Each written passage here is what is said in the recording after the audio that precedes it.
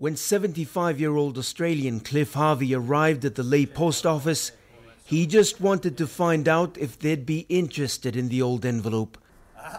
But the postal staff called the media, and Cliff Harvey and the envelope made news. It belonged to an uncle of my partner, and uh, he and his wife had no family, and he died uh, about 15 years ago or more, and we looked after all his estate, and this was, a, this was left to us. It's not just any old envelope. This is the first airmail that was posted out of Lae in 1934. The letter, with its original stamps still intact, was addressed to a Mrs. H. Lyon of 131 Dover Road, Rose Bay in Sydney. That makes that very interesting because this is a very, very old stamp and it's the first envelope that was posted out of um, Lae Post Office. The envelope also bears the signatures of the crew members of the plane who carried the letter to Australia.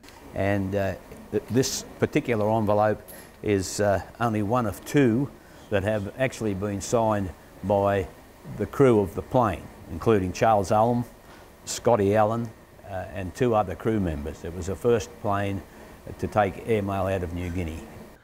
Cliff is here on family business. An uncle of his served in the Australian Army and was killed while fighting in Finschhafen. Cliff and the postal staff say they're not sure how valuable this envelope is, but it is a precious piece of Papua New Guinea's history that is being returned and it is the only one in existence. Scott White, National EMTV News, Lae.